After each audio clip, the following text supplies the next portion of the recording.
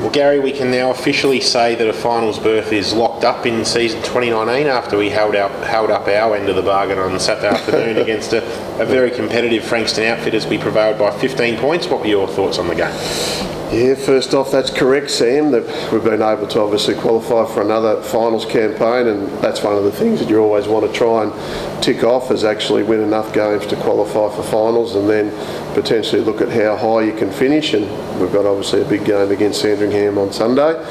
The game itself, it was probably the first quarter really that won it for us, that margin, even though it wasn't the margin at the end of the game.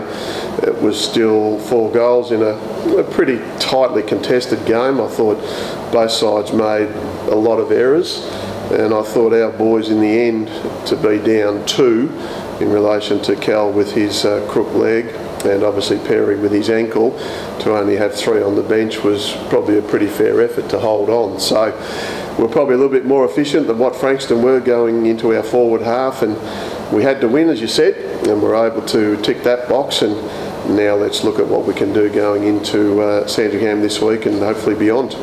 Uh, are you able to provide the fans with a specific update on what currently we know about the injuries of Cal and, uh, and Perry? Because there was a little bit of concern for, for those boys after the game. Yeah, there was actually. Apparently, I heard from one source that Cal had had plaster on his leg, but we know that wasn't the, the case. He was off to hospital to actually get it checked out. The good news is I spoke to Cal this morning, and there's no fracture, which is really, really positive. So, depending on what uh, the doc thinks today, it could be some bone bruising and a little bit of swelling. And uh, Perry, they're still waiting to see what the outcome is there. Uh, he's a little bit sore, but they're thinking maybe syndesmosis. But again, I'm not a physio or a doctor, mate, so we'll wait and see what happens at today's training. So those two boys miss, which we probably think they will, obviously there'll be a couple of guys that'll get an opportunity to uh, potentially come in at the right time on the of finals.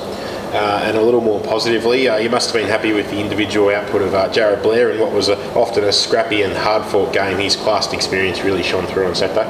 Yeah, it was, and just his ability to work from contest to contest, I thought as a midfielder, it's pretty important the way the ball pings around, whether it's in offence or defence. And I thought his leadership and just his work rate was really, really good. And we needed some like him in that last quarter to show that leadership, and obviously that's what we got Jared to the club for, is his ball use, his smarts, and obviously the leadership.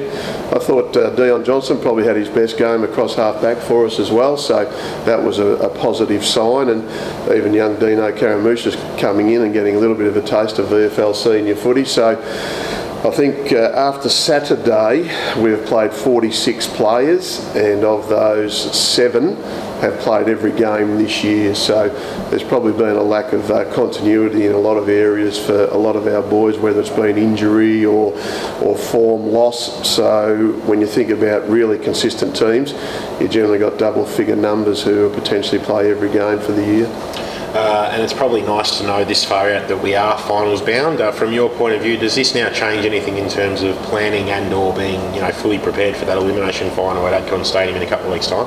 Yeah, it does. With the bye last round, it just gives us a really good opportunity to potentially tweak a couple of things and the way we can train and how we go about getting ourselves as fully right as we can for that first week of the finals.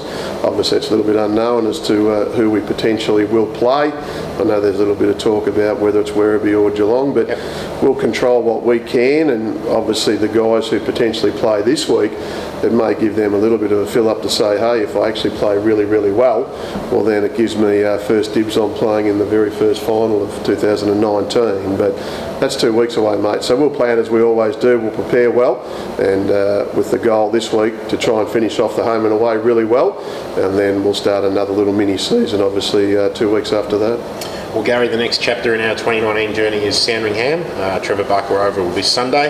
Best of luck in that game. Well done on last weekend's win, and we'll chat to you again next week. Yeah, thanks, Sam.